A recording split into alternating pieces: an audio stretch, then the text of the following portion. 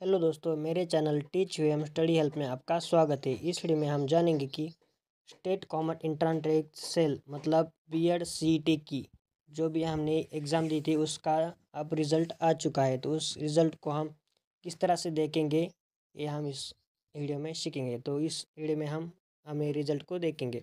इसके लिए आपको सबसे पहले गूगल क्रोम में आना है और यहाँ पर आपको सर्च कर लेना है, महा बी एड सी टी इस तरह से आपको सर्च कर लेना है। महा बी एड सी टी इसके बाद आपको सी ई टी सेल इस वाले ऑप्शन पर पहली लिंक पर क्लिक कर लेना है। जैसे आप पहली लिंक पर क्लिक करेंगे, आपके सामने इस तरह से सी टी सेल का जो डैशबोर्ड हो ओपन होके आ जाएगा। तो यहाँ पर आपको कैंडिडेट रजिस्ट्रेशन इस वाले ऑप्शन पर क्लिक कर लेना है।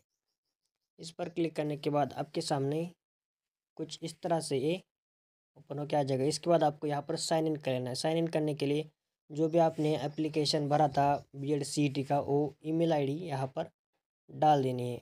और नीचे आपको अपनी ईमेल आईडी का जो भी आपने पासवर्ड दिया था, वो पासवर्ड नीचे डाल देना है। हमने ईमेल आईडी और पासवर्ड डाल दिया है। इसके बाद आपको साइन इन पर क्लिक कर लेना है। जैसे ही साइन इन पर क्लिक करेंगे तो आपके सामने इस तरह से कुछ डैशबोर्ड ओपन होके आ जाएगा। इसके बाद आपको नीचे आना है। और नीचे आना है और यहाँ पर ऑब्जेक्शन ट्रैकिंग पर आपको क्लिक कर लेना है।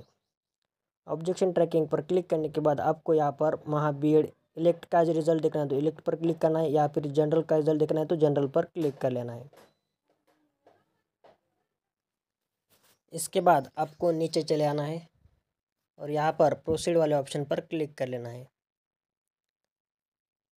इसके बाद आपको आपके सामने आपका जो भी रिज़ल्ट है वो ओपन होके आ जाएगा जो आंसर सीट है।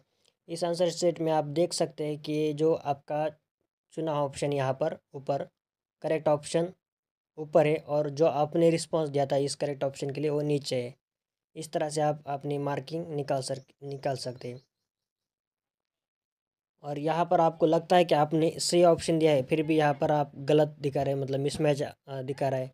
जैसे कि करेक्ट ऑप्शन कुछ और और आपका कुछ और इस तरह से दिखा रहा है तो आप यहाँ से या इस आ, मतलब इस ऑप्शन को ऑब्जेक्शन भी ले सकते हैं इसके लिए। इसके लिए आपको बस वन थाउज़ेंड रुपये की फ़ी भरनी होगी ठीक है?